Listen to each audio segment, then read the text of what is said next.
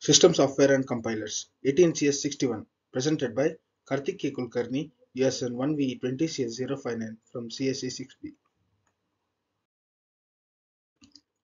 Hi, welcome back. In this video, we are going to discuss how to generate object code and object program for the given SIC slash XE source program.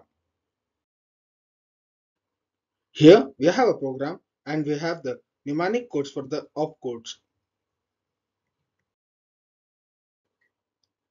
In SIC slash XE, we have four type of instruction format, type 1, type 2, type 3 and type 4. Type 1 has 1 byte of size, type 2 has 2 bytes of size, type 3 has 3 bytes, type 4 has 4.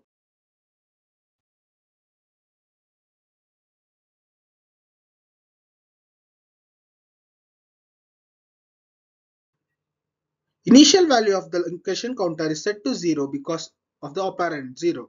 Next, we have clearx. Clearx is a type 2 instruction format. So, we add 2 to the initial location counter value. We get 2 as the location counter value here. Next, we have LDA hash 0. Hash 0 represents type 3 instruction format. So, we add plus 3 to the previously obtained location counter value. Now, we have 5 as the location counter value. Next we have plus LDB hash total. Plus represent type 4 instruction format. So plus 4 is added. But below we have base. Base is an assembly directive. So nothing is added in the base column. Next we have X. It doesn't contain any register value. So it's not type 2 instruction. Or it doesn't have any plus. So it's not a type 4 instruction. So it's a type 3 instruction. So we add 3. We obtain C as the location counter value. Here we have a type 3 instruction. So we add 3. So we get f as the location counter value. Next, again this is a type 3 instruction. So we add 3. We obtain 1 2 as the location counter value. Again, we have type 3 instruction. So we add 3 to it. So we obtain 1 5 as the location counter value. Again, we have a type 3 instruction. So we add 3 to the location counter. We obtain 1 8 as the location counter value. Here we reserve words. One word is equal to 3 bytes. So we add 3 bytes to the location counter value. We obtain 1b as the location counter value. Next we reserve 2000 words. That is equal to 6000 bytes. That 6000 bytes converted into hexadecimal value is 1770. 1770 plus we add the previous location counter value. We obtain 178b as the location counter value.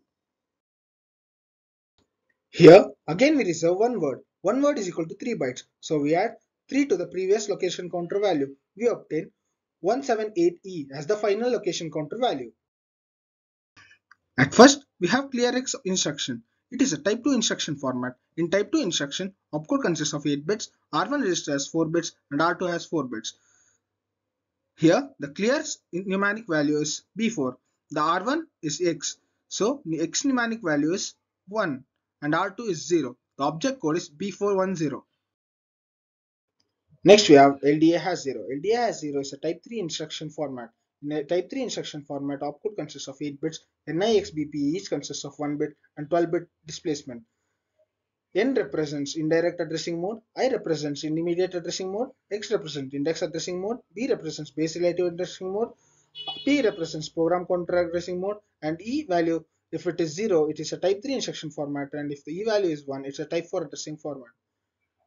Here, the LDA mnemonic value is 0.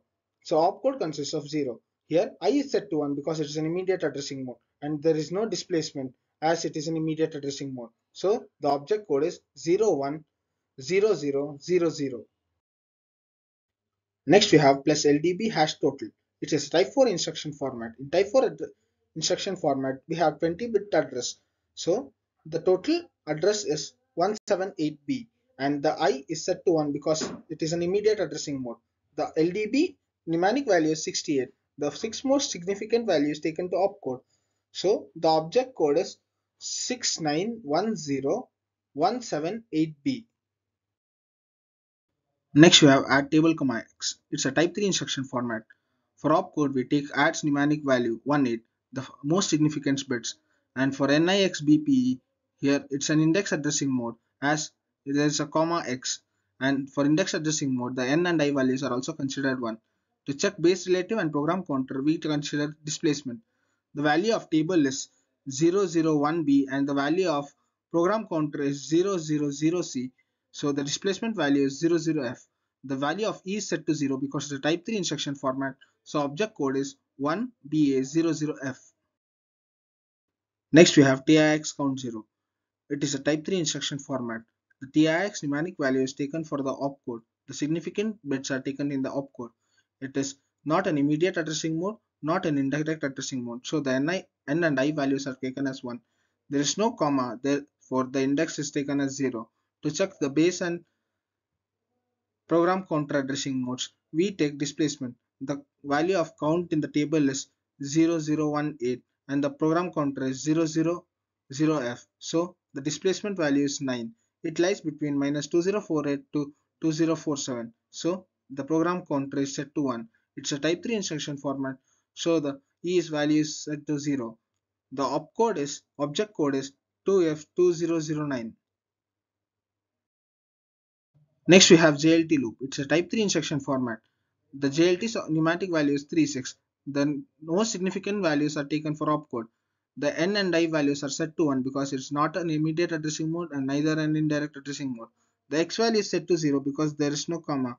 To check the base relative and program counter values, we check displacement.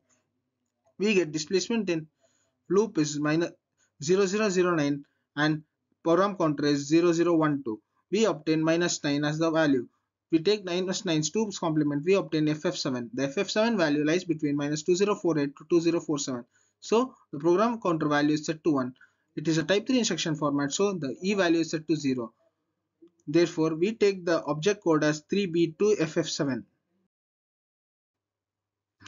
Next, we have STA total. It's a type 3 instruction format.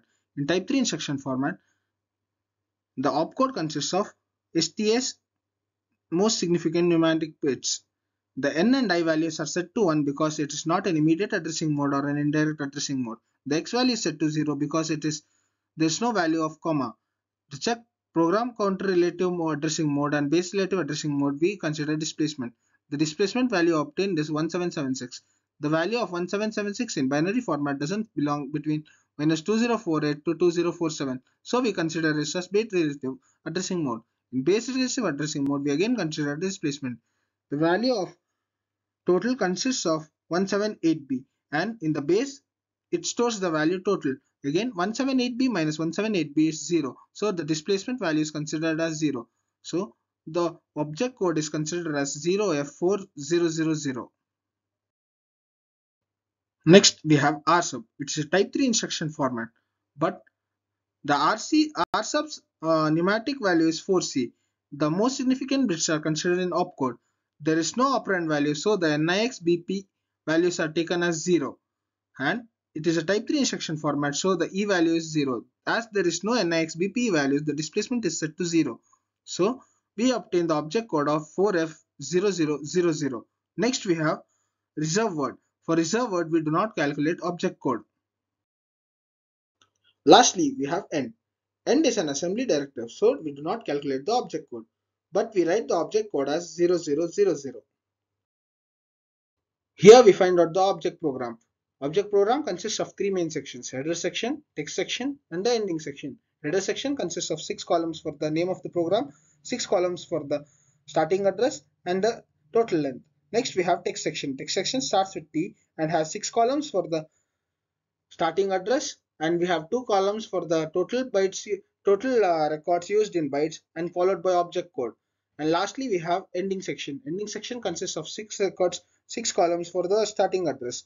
Here the total length is calculated. It is used in the header section. We have taken sum as the name of the program and we have left the three columns empty. The starting address is 0 and later we have in text section we have taken 18 here because the total columns provided for the text records is 16 here we have used 48 columns.